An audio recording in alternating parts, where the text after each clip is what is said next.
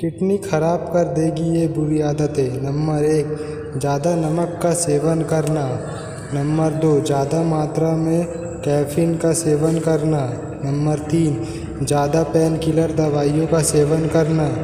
Number चार, ज़्यादा alcohol का सेवन करना। नंबर पाँच, कोल्ड या फ्लू को बार बार इग्नोर करना। नंबर छः ज़्यादा से ज़्यादा प्रोटीन का सेवन करना। नंबर सात, बहुत कम मात्रा में पानी का सेवन करना। नंबर आठ, दिनचर्या में एक्सरसाइज का शामिल न होना। नंबर नौ, अनियमित और गलत खान पान का सेवन करना। नंबर दस, अत्यधिक नशीले पदार्थों का सेवन करना।